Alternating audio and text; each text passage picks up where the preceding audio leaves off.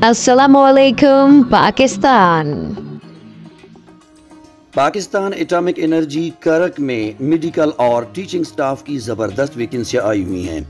आपकी अपॉइंटमेंट शनवा के साइट पे होगी। आज की वीडियो में मैं आपको बताऊँगा एज लिमिट क्या है, अप्लाई प्रोसेस क्या है। बहुत सिंपल प्रोसेस है, एक रुपया भी आपका नहीं लगेगा। और इसके लिए वो लोग जो मकामी हैं, यानी कि करक के बाशिंदे एटॉमिक एनर्जी के इस जॉब के लिए अप्लाई कर सकते हैं। एलिजिबिलिटी क्राइटेरिया क्या है? स्केल क्या है? दीगर मालूम भी आप लोगों को बताऊँगा। वीडियो के आखिर तक रहना आपका फ़र्ज़ बनता है और अगर खुद अप्लाई कर सकते हैं तो अच्छी बात है। अदरवाइज़ जितने भी एस्पायरेंट्स हैं, यानी क्वालिफाइड लोग, उन तक ये वीडियो ज़रूर शेयर करें। हो सकता है उनके फ़ायदे में आ जाए। एक मरतबा फिर रिपीट कर रहा हूँ कि ये वैकेंसियाँ लोकल बेसिस पे हैं। सबसे पहले मेडिकल वैकेंसियाँ डिस्कस करते हैं, जिसमें मेडिकल ऑफिसर कॉन्टैक्ट केट cat five M B B S के लिए एलिजिबिलिटी है और हाउस जॉब इसने मुकम्मल की हो तो अप्लाई कर सकता है। दूसरी कैटेगरी है डिस्पेंसर कंटेंजेंट लेवल थ्री जिसके लिए मैट्रिक एहलियत है फ़र्स्ट डिवीज़न और one year course relevant field में उसने हासिल किया हुआ हो।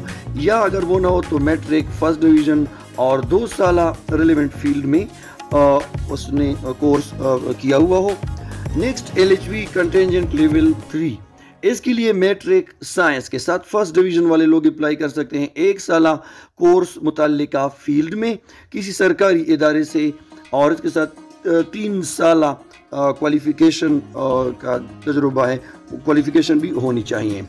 और अगर ये ना हो तो मैट्रिक फ़र्स्ट डिवीज़न और दो साल कोर्स मुतल फ़ील्ड में रिकगनाइज इदारे से और दो साल पोस्ट क्वालिफिकेशन एक्सपीरियंस भी ज़रूरत है। नेक्स्ट टीचिंग स्टाफ में junior teacher contingent level three की ज़रूरत है। टीचिंग स्टाफ के लिए बी ए बी सी और इसके साथ बी एड भी ज़रूरी है फ़र्स्ट क्लास के साथ होनी चाहिए। बी एस एड वाले भी अप्लाई कर सकते हैं और two years qualification from well reputed institution और अगर ये ना हो तो M A M S C वाले बंदी भी अप्लाई कर सकते हैं बी सी बी एस सोलह साल तालीम या इसके मुतबादल को तरजीह दी जाएगी जो फ़र्स्ट डिवीज़न के साथ पास किया हुआ हो। और वन ईयर टीचिंग एक्सपीरियंस वालों को तरजीह दी जाएगी। आइए कुछ दूसरे रिक्वायरमेंट वगैरह देखते हैं। सबसे बड़ी बात कि पूरे करियर में थर्ड डिविजनल ना हो। फ़र्स्ट क्लास एकेडमिक करियर वाले को तरजीह दी जाएगी। अलबत् सेकेंड डिवीज़न वाले जिनकी पोजीशन 50 परसेंट मार्क्स से कम ना हो, वो भी अप्लाई कर सकते हैं। फ़र्स्ट क्लास का मतलब 60 परसेंट मार्क इनवल सिस्टम में। और एज 18 से 35 साल है 18 से कम 35 साल से जायद के लोग अप्लाई नहीं कर सकते हैं। आपकी जो एजुकेशनल डिग्रीज हैं, किसी रिकग्नाइज्ड यूनिवर्सिटी और कॉलेज से होनी चाहिए जो कि हायर एजुकेशन कमीशन ने तस्लीम किया हुआ हो। और एक्सपीरियंस आपकी क्वालिफिकेशन मुकम्मल होने के बाद काउंट की जाएगी। जो पहले से सरकारी मुलाजिम हैं, उनको through proper channel no objection certificate भी लाजमी हासिल करना है। वो कैंडिडेट जो एलिजिबिलिटी क्राइटेरिया पे पूरे उतरते हैं आ, और और उनको सिर्फ़ अप्लाई करना चाहिए।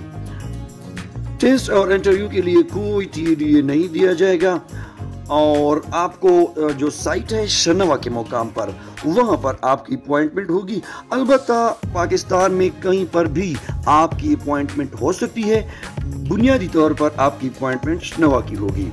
और अपने जब आप अप्लाई के लिए अगर एलिजिबल हैं तो जिस पोस्ट के लिए अप्लाई करना चाहते हैं एनवेलप के कॉर्नर में वो पोस्ट आप मेंशन करेंगे।